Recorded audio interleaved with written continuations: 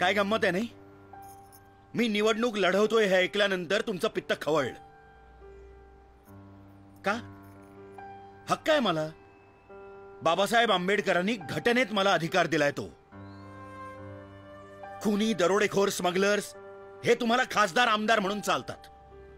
पण एक प्रामाणिक मराठी माणूस आज राजकारणात जातोय असं म्हटल्यानंतर जणू काय मी तुम्हाला नरकात आणि मसणात घेऊन चाललोय अशी प्रतिक्रिया. का?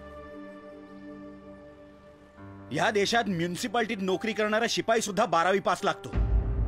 पण राज्याची धुरा सांभाळणाऱ्या राजकारण्यांना शिक्षणाची अट नाही. नाही नाही नाही नाही. मी अ, साक्षर निरक्षर या वादात जात नाहीये. पण एके ठिकाणी साक्षरतेच्या नावाखाली कोट्यवधी रुपये खर्च करायचे आणि दुसरीकडे निरक्षर उमेदवाराला लोकशाहीच्या नावाखाली सूट द्यायची. या सगळ्याची चीड न येणे इतके शंड आहोत का आपण? राजकारण हा बदमाशांचा शेवटचा अड्डा. हे आपण मान्यच केलेलं आहे. पण राजकारण हा बदमाशांचा अड्डा कोणामुळे झाला? याचा कधी विचार केलाय? राजकारणी चोर लाचखाऊ भ्रष्टाचारी उन्मत्त असं आपणच ओरडणार. आणि पुन्हा पुढल्या खेपेला आपणच त्यांना निवडून देणार? आम्ही मतदान करायला कधी सोडून दिलंय. म्हणूनच तुम्ही जबाबदार आहात आजच्या राजकीय स्थितीला. निवडणुकीची सुट्टी तुम्ही हॉलिडे म्हणून साजरी करता. आणि त्याचा फायदा घेऊन हे राजकारणी पैसे आणि बोगस मतांच्या जीवावर पुन्हा पुन्हा पाच वर्ष आपल्या लुबाडायला मोकळे होतात. प्रत्येक नगरसेवक आमदार खासदार हे तुमच्या प्रश्नांची उत्तरं द्यायला बांधील आहेत पण पण आपल्यापैकी किती जण त्यांना त्यांच्या कृत्याचा जाब विचारतात?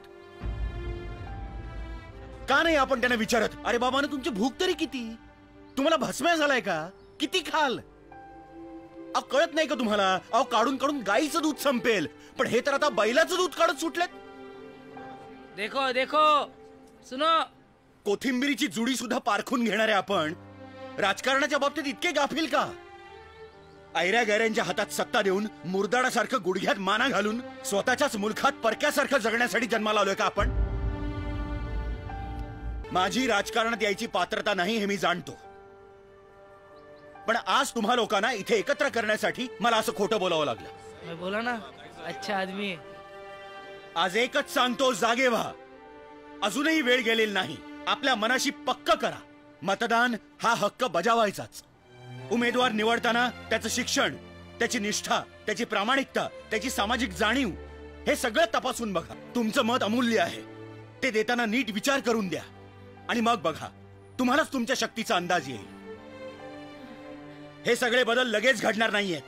पण मला शंभर टक्के खात्री आहे. आपण आज पाऊल उचललं तर येत्या काही वर्षातच आपल्या राज्याचा आरोग्य मंत्री एक डॉक्टर असेल.